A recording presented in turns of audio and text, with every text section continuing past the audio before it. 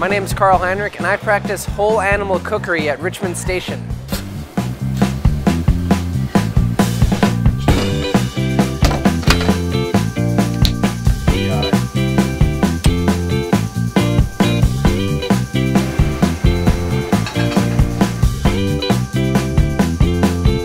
I have a lot of great relationships with the people that I buy food from.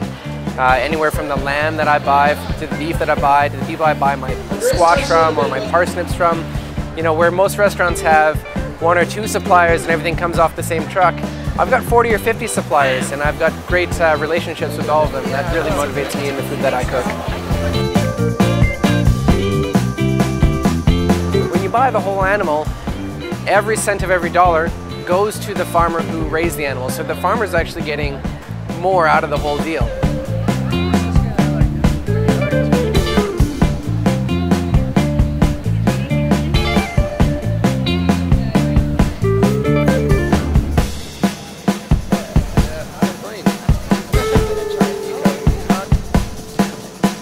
You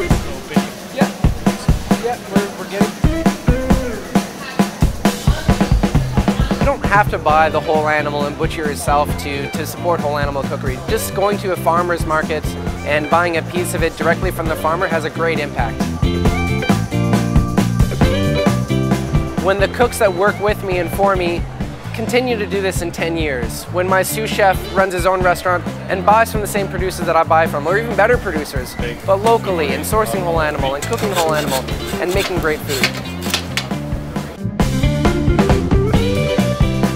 If we run out of bacon, we buy another pig, or we take bacon off the menu for a day. I mean, it's that easy. The, the fun part about it for us is that we have access to really, really high quality food, which makes a big difference.